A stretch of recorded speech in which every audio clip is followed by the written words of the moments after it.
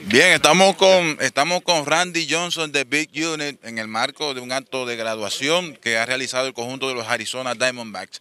All right, Randy, thanks a lot for, for taking these few minutes to talk to us. Talk to us about about about this this event, the, the, the graduation from the Arizona Diamondbacks.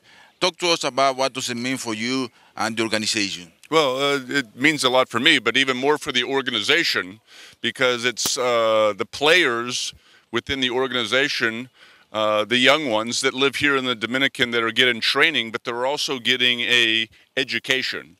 And uh, we witnessed that firsthand today where uh, uh, half a dozen graduated. and I told them yesterday when I came to the academy here, I there was about 60 or 70 players – and I talked to them, and I told them that not everyone is going to have a Major League Baseball career. It's just the odds. Not everybody's going to, that's not going to happen. So get an education, and you can still uh, uh, uh, have a wonderful life because education is better sometimes than baseball. Baseball will run out, but your education won't. Hemos preguntado con relación a lo que ha significado este acto de evento de, graduación y nos ha dicho que ha significado mucho para él, para ellos como, equipo, pero muy especialmente para, para los jugadores que estuvo ayer eh, hablando con 60, 70 de estos muchachos, diciéndoles sobre la importancia que es la educación para todos ellos. Y él tiene que algunas preguntas a ellos, porque solo tenemos dos minutos más para. Randy, how, how, how have you feel about, about the country? We saw you the other day riding a motorcycle. Talk to us about, about the experience. Yeah. uh, I, uh, I've had many, many uh, teammates, and I've pitched against many, many great players from uh, the Dominican Republic, Venezuela, Puerto Rico, Mexico, uh, Cuba.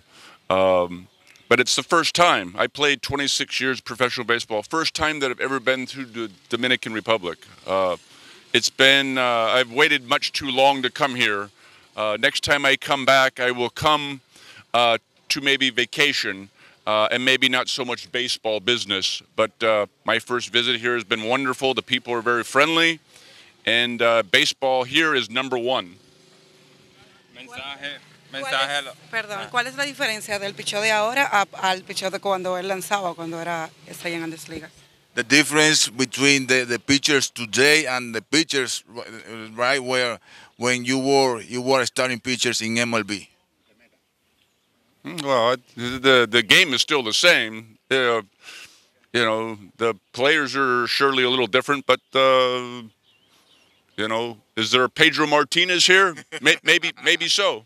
We have to wait and see, you know. El juego sigue siendo el juego sigue siendo el juego sigue siendo el mismo, no hay un Pedro Martínez aquí, pero tenemos que ver.